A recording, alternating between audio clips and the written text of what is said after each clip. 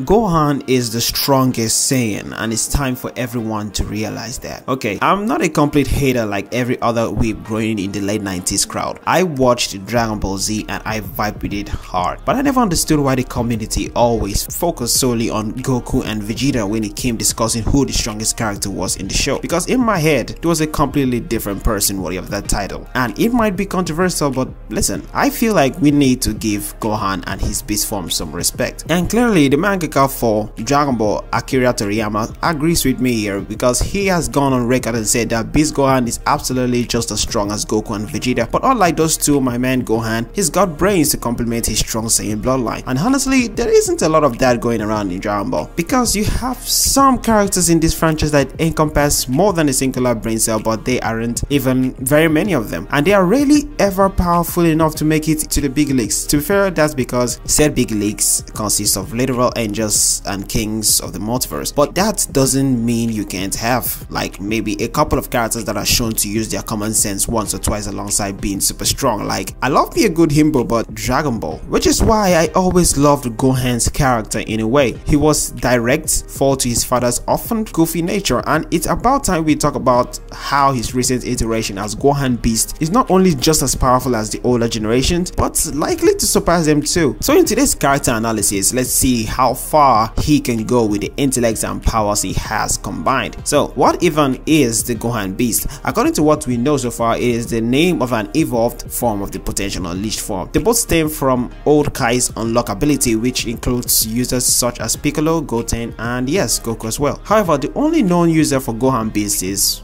well, Gohan. He's the only one who has unlocked the heightened ability following Piccolo's getting injured during the Dragon Ball Super superhero movie. And it is one hell of a power boost. Toriyama said it was like unlocking the beast hidden inside, going as far as to dub it the definite final Gohan form. The thing is, Gohan was always talented, even from his childhood. I mean, he was able to get the jump on Piccolo when he was still basically a kid and had more tact and strategizing skill than his father. He basically has the raw strength and potential from his father's alien bloodline and honed is sharper thanks to the training of the various mentors going forward. Couple that with his natural intelligence and education and the kid grew up a lethal warrior. However, unlike his dad, he focused more on his family and education than training regularly that is until Cell Max came along and threatened everything. And just when everything seemed bleak Gohan Beast arrived, considering how Piccolo remarked that even he wasn't sure if Goku or Vegeta could take Cell Max on and Gohan Beast straight up defeated him single-handedly. So that does give us an incline on how strong he is and how he fares against other ultra powerful characters. We already discussed how Goku and Vegeta themselves might have a hard time against Gohan Beast because in terms of sheer power it seems like he'd have an edge. But what about something like Golden Frieza who was around the level of Super Saiyan Blue Goku? Well it's been confirmed that during the Moro arc Gohan's potential unleashed form was comparable to Super Saiyan Blue Goku therefore Gohan Beast would easily overcome Golden Frieza as well. Now I'm not saying that he's the most powerful character in all of Dragon Ball I mean we still have the gods of destruction, angels, grand priest, and